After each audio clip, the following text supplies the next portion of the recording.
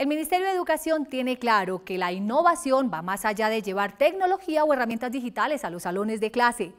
La innovación debe darse sobre todo en las prácticas de aula para que los profesores desarrollen en los niños y jóvenes competencias científicas, comunicativas y ciudadanas. En una institución educativa de Medellín implementan un proyecto que demuestra que la innovación en la clase de ciencias naturales sí tiene el poder de transformar vidas. Viajemos juntos para que lo conozcamos.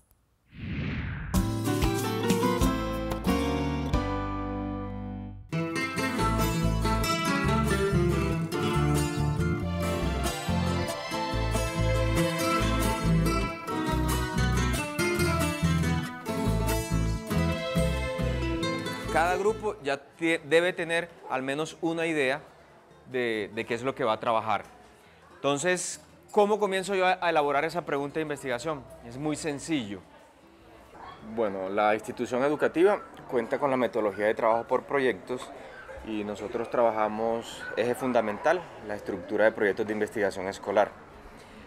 Eso permite que el estudiante vaya analizando su contexto, vaya tratando de enfocar, sus procesos investigativos a una temática social, a una problemática que ellos la estén viviendo dentro de sus comunidades, tratando de implementar el método científico, que es lo que pretendemos con esta metodología.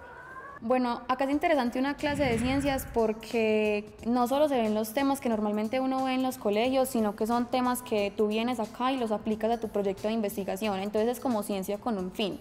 Pues, o sea, son enfocados en lo que uno quiere hacer, entonces es ciencia aplicada en lo que uno le gusta. Entonces obviamente es un cambio pues bastante drástico, pero creo que es bastante bueno porque uno aprende mucho más y no solo es para el momento, aprendes para tu vida en sí. Yo creo que es importante realizar todos esos procesos de investigación porque nos forma como personas y creo que nos forma mucho el carácter crítico que a veces tanto nos falta y eso nos puede llevar a resolver muchos problemas. Así uno salga del colegio, digamos el proyecto quede acá o tú no lo sigas aplicando en tu vida diaria, o sea, te formó como persona y te enseñó a buscar, a indagar, a tratar de solucionar unas cosas que pues a uno le pueden servir mucho aplicarlas en la vida cotidiana normal.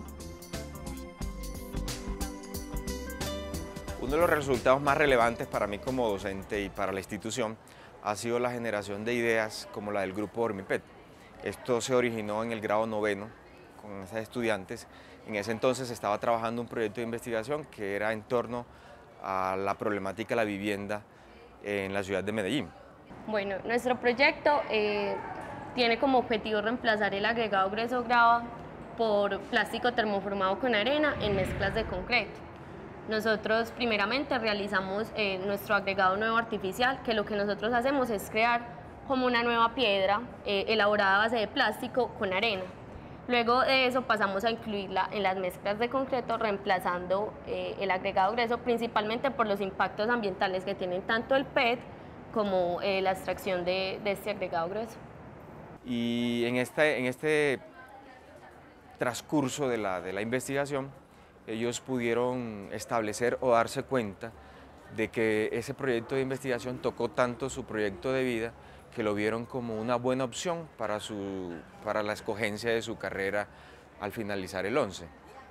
Eh, el proyecto me permitió primeramente desarrollarme como persona, proyectarme a nivel profesional, eh, pues eh, a través del proyecto pude decir cuál era, cuál era la carrera profesional que quería desempeñar, además porque uno, uno aprende muchas, muchas cosas de un tema que a uno le apasiona, como por ejemplo la ingeniería y todas las cuatro en el proyecto nos involucramos tanto que llegó a convertirse eh, el proyecto en parte de nosotras. Ya nos gustaba hacer el proyecto, ya nos gustaba ir a las empresas a que nos ayudaran, ya entendíamos los términos de la ingeniería civil. Incluso cuando íbamos a presentar nuestros proyectos la gente nos decía que, que ya teníamos eh, el lenguaje de un ingeniero. Para finales del, del 2013, eh, el Ministerio de Educación nos nominó como premio a los mejores en el mejor grupo de investigación e innovación a nivel nacional. Fue un galardón que recibió la, institución y que permitió validar mucho más los procesos que se están realizando dentro de la institución. Eh, las clases con el profesor William me encantan. Ya de por sí el hecho de buscar una respuesta mediante la discusión y la experimentación en el campo ha sido un cambio extremo frente a lo que antes llevaba en mi proceso académico. nunca había sentido tanta libertad y tanto poder de parecer lo que podría ser un científico. Bueno, yo siempre considero que la educación es algo que hay que estar innovando constantemente. Nosotros los docentes no nos podemos quedar con, una estructura básica, con la, con la estructura que nosotros aprendimos.